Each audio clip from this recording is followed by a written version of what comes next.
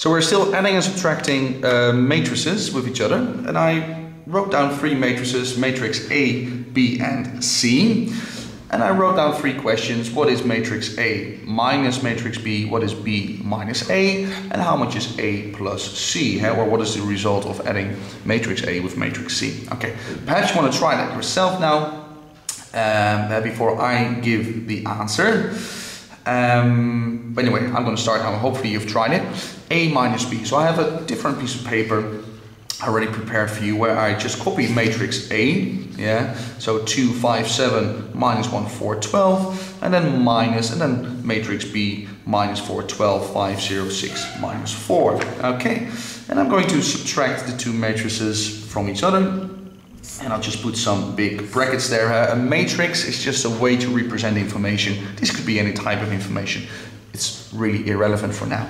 And all I do, I compare the positions and I subtract those from each other. Yeah. So 2 minus minus 4, and that indeed is 6. Careful there, eh? subtracting a negative is actually positive, 2 plus 4. Good. Uh, 5 minus, and that one relates there, minus 5, so that's going to be 0. 7 minus 6 is 1. Okay.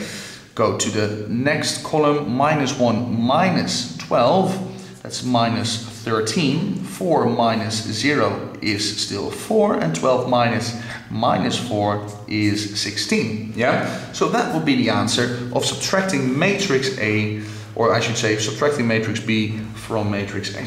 Anyway, going to the next question, B take away A. So again I prepared a view, I copied matrix B, take away matrix A. And I do the same thing, yeah, let me just put those brackets there already. So minus 4 minus 2, that's minus 6. 12 minus minus 1, that is 13. 5 minus 5, that is 0. 0 minus 4, minus 4.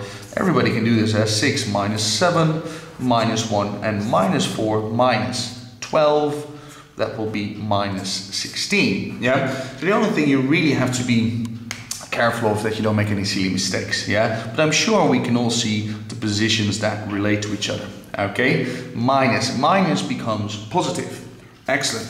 And then the last question I said, well, what is the matrix A plus the matrix C? So again, I copied those two matrices for you already on a different piece of paper, A and that is C. And then you realize, oh, hang on a minute.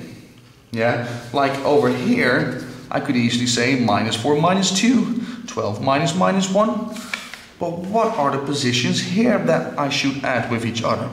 And then I realize, yeah, oh, hang on a minute. The order of my matrix A is a 3 by 2, yeah, 3 rows and 2 columns, yeah, 3 by 2. And the order of matrix C is a 1 by 3 matrix.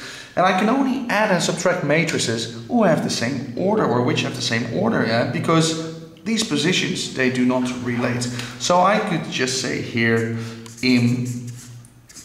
impossible. Yeah, it is not possible to add or subtract matrices which do not have the same order. All right, so that was adding and subtracting matrices. It's time now to do some multiplication with matrices. I'll see you at the next videos.